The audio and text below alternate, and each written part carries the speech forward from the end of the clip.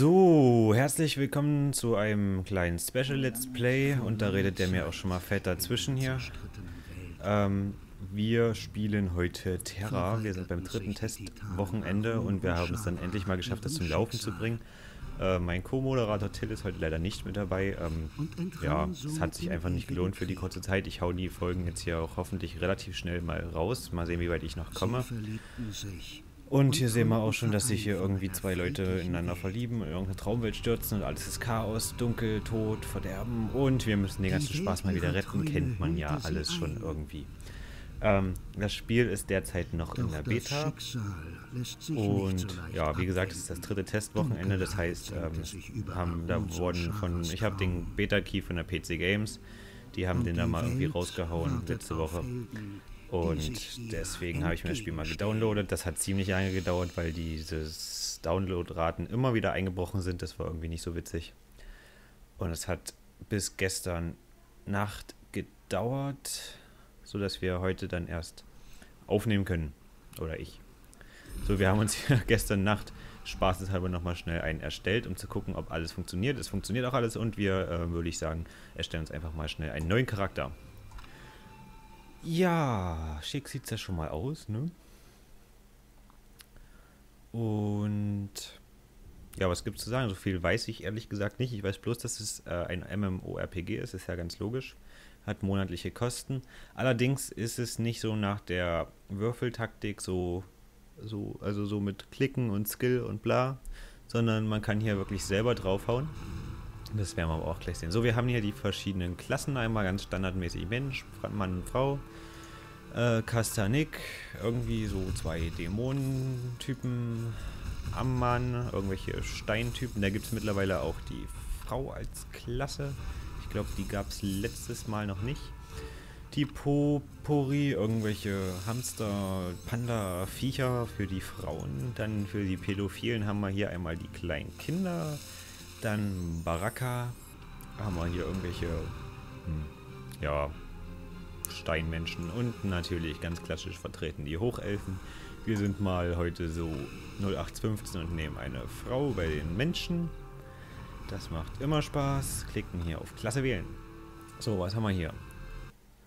Wie Sie sehen, haben wir nichts. So, wir haben hier einmal die Kriegerin. Einmal mit fetten Schwertern. Dann geht es natürlich fett weiter mit einer Lanze. Äh, die ist so groß, die passt schon gar nicht mehr auf den Bildschirm und ich spiele schon mit äh, einem 26 Zoller. Okay. Dann ähm, noch eine Zerstörerin, die kann ihr Schwert irgendwie nehmen die, nehmen die Bekleidung hier nach und nach ab, wenn man sich den Spaß mal so anguckt. Okay. Ähm, dann die Berserkerin mit einer fetten Lanze, ne, Axt. Dann die Zauberin, die hat irgendwie ihre Hose vergessen. Dann haben wir hier eine Bogenschützin, die hat kaputte Sachen an und eine Priesterin. Ja, schicker Hosenanzug, ne? Und die Mystikerin, die hat auch irgendwie keine Hose an. Und ich würde sagen, ich habe mir vorhin schon mal die Zerstörerin so ein bisschen ausgeguckt. Ja, warum wohl? Okay, dann Voreinstellungen. Da kann man jetzt hier natürlich hoch und runter zoomen, ne? Gut, äh, das Gesicht. So, was haben wir denn hier? Zack, zack. Ich glaube, ich hatte hier vorhin schon mal die Voreinstellung. Die sah ganz äh, gut aus. Ist ja jetzt eigentlich auch nicht weiter von Bedeutung. Man kann hier verschiedene Einstellungsmöglichkeiten wählen, wie die Haare. Ähm, ich möchte mich jetzt hier ehrlich gesagt Hauttyp, ach nee, Haarfarbe, ehrlich gesagt nicht so lange drin aufhalten. Ist ja eh nur ein Testwochenende. Und äh, der Klasseneditor ist auf jeden Fall sehr umfangreich. Äh, zum Gesicht kann man hier noch Irgendwo gab es hier erweiterte Optionen. Ach, die kommen später noch. Nee, ich habe keine Ahnung. Also Gesicht kann man hier noch verschiedene Hauttöne, bla und so weiter. Make-up, schieß mich tot, was man alles hier machen kann. Details, Mund, Nase, Augen, Ohren. Wie beim Ohren, Hals, Nasen, Ohrenarzt kann man hier alles verändern. Dann bekommt man einen kleinen Überblick über die Klamotten, die man später anhaben wird. Sexy Spinnenkostüm für Halloween, ich habe keine Ahnung. Okay, wir gehen jetzt hier einfach auf Name bearbeiten, nennen uns einfach mal ganz frech Streamline, auch wenn dieser Name überhaupt nicht zu einer Frau passt. Und klicken auf Fertigstellen. Und los geht der Spaß. Hoffe ich. Na bitte. Und wir klicken auf Spielen und wir gucken, wie es losgeht. Guti. Also man muss sagen, achso, okay, hier wird uns kurz die Steuerung erklärt. Die Tasten kann ich mir jetzt eher nicht merken, also ist das hinfällig.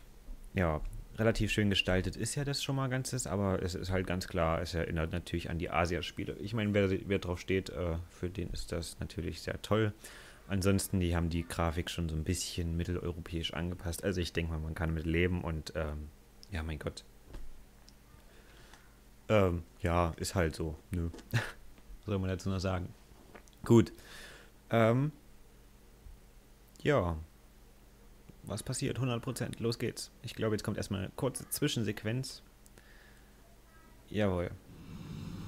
Und es geht schon mal in luftige Höhen hinaus. Wir reiten auf irgendwelchen wirklich homoerotischen Pferden. Und die sehen wirklich alle sehr gefährlich aus. Da sind wir auch schon.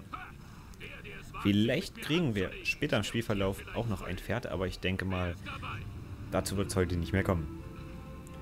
Also bis 0 Uhr läuft die Testphase noch. Sonntag, heute 0 Uhr ist es dann vorbei und äh, dann war es das auch erstmal. Dann müssen wir mal gucken, vielleicht können wir noch irgendwie was abstauben in den nächsten Wochen, damit wir noch so ein so einen Key kriegen und dann müssen wir einfach mal gucken, weil wir haben es ja dann gedownloadet schon. Das heißt, ich werde es jetzt einfach mal auf der Platte lassen. In der Hoffnung, dass da vielleicht noch mehr kommt. Ansonsten geht es natürlich hier auf dem Channel weiter mit The Witcher oder World of Goo.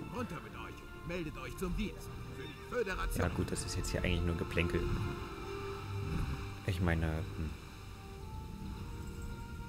ich meine, oh, man kann es auch übertreiben mit Regenbogen, oder? Und Pferden und bunt und na gut.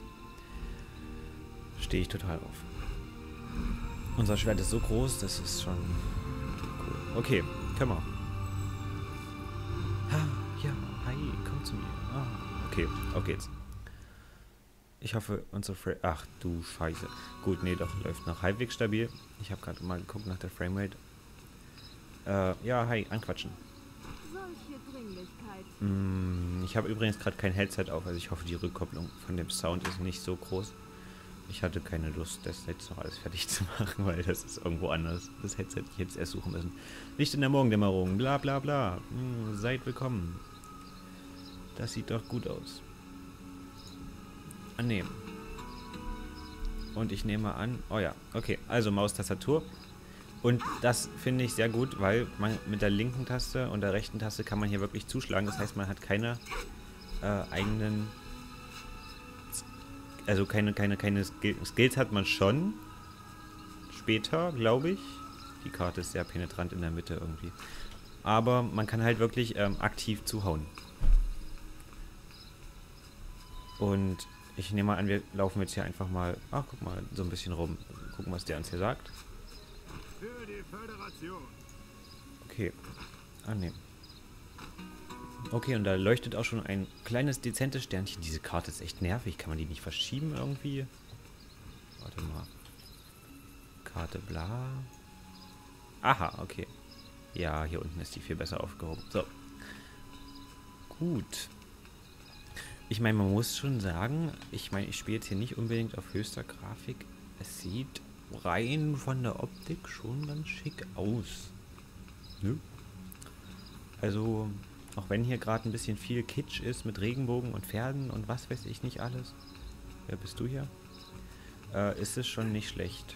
Hier, du willst mit mir reden. Einnahme der Brücke. Fortsetzen.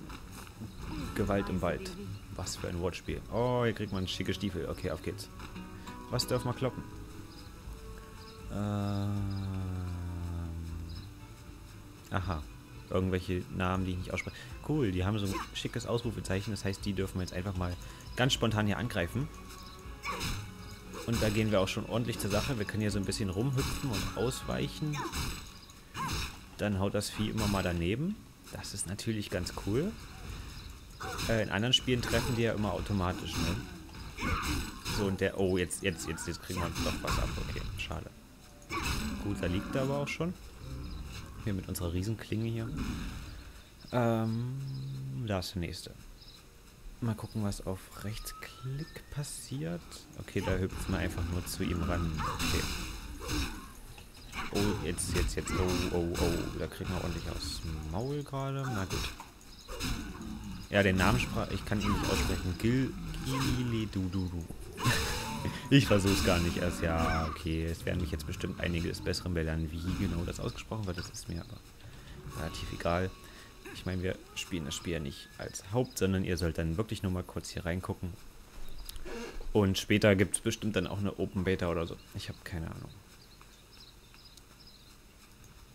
Und weiter geht's. Wir metzeln uns hier fröhlich durch den Elbenwald. Und... Wow. Krass. Du bist ja mies. Da hat man irgendwie einen Critical Hit gelandet. Ja, mit Ausweichen ist hier irgendwie gerade noch nicht viel. Wir haben erhalten. Na gut, einen müssen wir noch. Oh, ihr seid ja niedlich. Stopp. Was? Einschlagen und es war tot oder was? Du bist ziemlich mächtig. Ah, du willst auch aufs Maul. Okay. Alter, ich nehme die hier One-Hit. Na gut. Ich bin ja auch schon stark. Stufe 1 ist natürlich... Was will man mehr? Ne? Ich glaube, das Level Cap ist bei Stufe 32. Ich sehe da die Chancen nicht so hoch, dass wir die heute noch erreichen. Wie ich sehe, glaube ich, sind wir gerade auf einem englischen Server. Tut aber, glaube ich, nicht so viel zur Sache. Jo, wir haben die Gewalt im Wald. Die Gewalt weit im Wald abgeschlossen. Und wir rennen einfach mal sch ganz schnell zurück. Jo, da sprintet jemand anderes los. Was geht ab? Oh, sieht ja so heiß aus. Nein, na gut. Ähm, okay. Ein Stein. So, da müssen wir hin und da hoffen wir, kriegen wir jetzt gleich irgendwelche Stiefel, glaube ich, waren es. Ihr könnt euren Charakter nicht bewegen. Doch, können wir. Na gut. Jo, was geht ab? Ähm. Ähm, ähm, ähm. Kann ich hier nicht auswählen. Abschluss. Wow, Levelaufstieg. Auf der Suche nach Antworten, da sind wir doch immer. Ich meine, unser ganzes Leben ist eine Suche nach Antworten. So, I. Na toll, wir haben Stiefel bekommen, die wir nicht tragen könnten, weil die erst für Stufe 3 sind. Na gut. Hey, du hast ein Ausrufezeichen über den Kopf, du bist wichtig. Annehmen, alles annehmen. Wir sind ja hier nicht blöd. Wir gucken mal, wo es weitergeht. Oh, jetzt dürfen wir Hirsche kloppen. Auch cool. Also das ist natürlich Quest-Innovation pur hier. Erst, erst den Wald roden, danach die Tiere töten. So macht man das heutzutage. Das hat man natürlich auch schon besser gesehen, aber naja. Was soll's, es macht trotzdem Fun, weil einfach die Steuerung sehr cool ist. Also ich muss sagen, da haben sie sich was einfallen lassen. Ich weiß zwar noch nicht ganz, wie das dann später bei Bosskämpfen und so werden soll, aber ich denke, das könnte ganz, ganz witzig werden. Da hinten ist noch ein Hirsch. Auf geht's, Hirsch, ich krieg dich. 3, 2, 1, 1. Ebay, Werbung, Schleichwerbung. So. Jagd auf die Bestien. Wir töten hier unschuldige Rehe. Das waren alles mal Bambis. Und wir töten sie. Na gut, okay. Ja, ich laber scheiße. Ich merke das schon wieder. Okay. Ähm. Ja gut, bahnbrechender Handschutz. Schauen wir mal, was wir hier bekommen haben. Können wir hier irgendwas... Oh, ja, hier. Handeln nicht möglich. Nee, müssen wir auch nicht. Wir haben neue Handschuhe. Guckt euch die an. Guckt euch unsere Handschuhe an. Boah, sehen wir krass aus. Okay. Oh, was war das? Aha.